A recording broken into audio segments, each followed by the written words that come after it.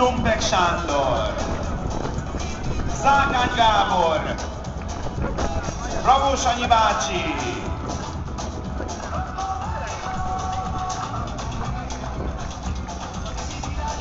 Szojka Marian, jó futás volt, Marian, gratulálunk.